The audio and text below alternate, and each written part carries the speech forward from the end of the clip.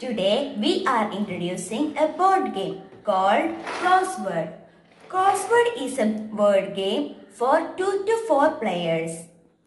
I am playing with my younger sister and it shows age 8 plus, but she is below 8 years. So, I need some excuses, okay? Okay, come on, let's play. To begin the game, turn all letters face down at the side of the board and shuffle. Draw for first play. Players with the ascending letters tends to play turnwise. Put the exposed letters back reshuffle. Each player then draws 7 new and place them on rack.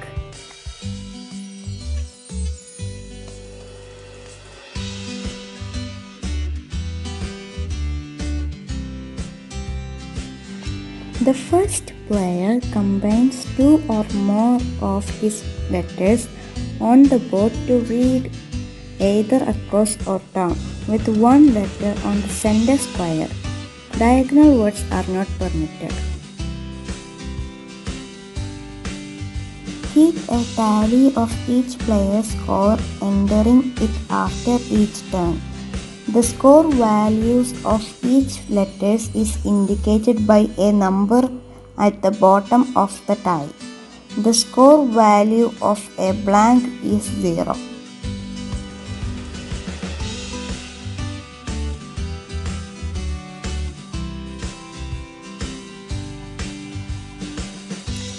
A player completes his turn by counting and announcing his score for the turn.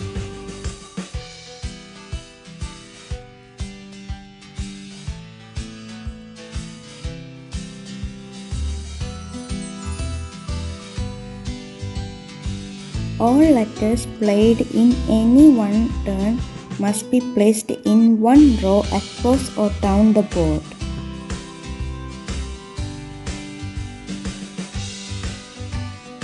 Color letter squares. A blue and pink square double the score of a letter placed on it, and a green and orange square triples the score of a letter placed on it. When a blank tiles fall on a any color square, it will not be doubled or tripled as blank itself has no score value. Any player who plays all seven of his tiles in a single turn scores a premium of 50 points in addition to this regular score for the play.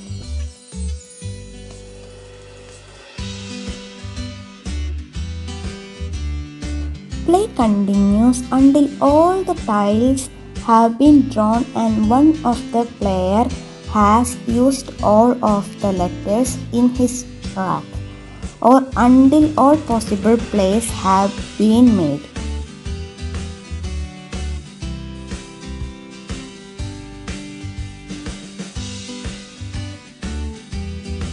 At the end of the game, each player's score is reduced by the sum of his unplayed letters, and if one player has used all of his letters, his score is increased by the sum of the played letters of all the other players.